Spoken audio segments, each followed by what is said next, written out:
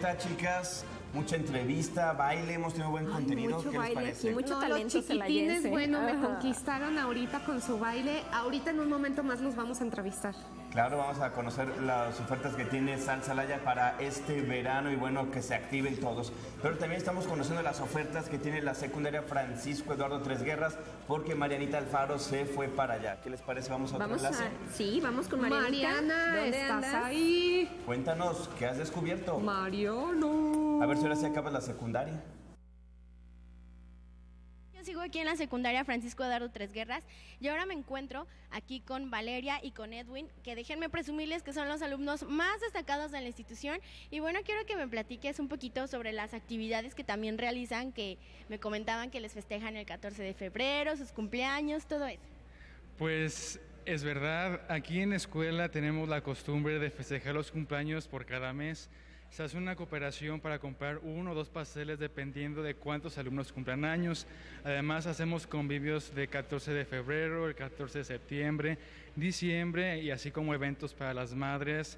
Ahí hacemos obra de teatro, cantamos desafinados, pero la intención es lo que cuenta. También hacemos proyectos este, de química, física, un poco repetidos, pero uno que otro se innova. También vamos a eventos deportivos de fútbol, así como a viajes escolares. El reciente fue una ida a León, a Explora y el zoológico.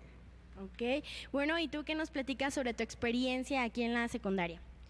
Bueno, a mí me gusta convivir con los demás grupos porque así nos llevamos mejor y no hay rivalidad entre nosotros. También este, es muy bonito convivir cuando hacemos las convivencias juntos. Oye, ¿y qué se siente ser de los alumnos más destacados del plantel? Mm, se siente bien, pero también un poco de responsabilidad porque tienes, aparte de tener, ah, ¿cómo? Ah, se me fueron las palabras. No importa, no importa. Ok. Eh, se siente un poco, se siente bien, pero un poco de responsabilidad porque tienes que ayudar a los demás, apoyar a los que no sepas y así como compartir lo que sepas. Oye, Valeria, ¿y alguna recomendación que les quieras dar a los papás para que inscriban aquí a sus hijos, para aquí a- en este nuevo ciclo escolar? Bueno,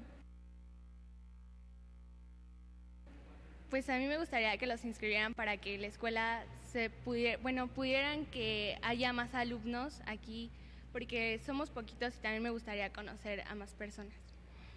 Bueno, pues ya conocimos también un poquito más sobre las experiencias de los jóvenes aquí dentro de la institución. Y bueno, yo la verdad es que si pudiera regresar a la secundaria, me vendría aquí a la Francisco Eduardo Tres Guerras, pero pues no, ya no se puede.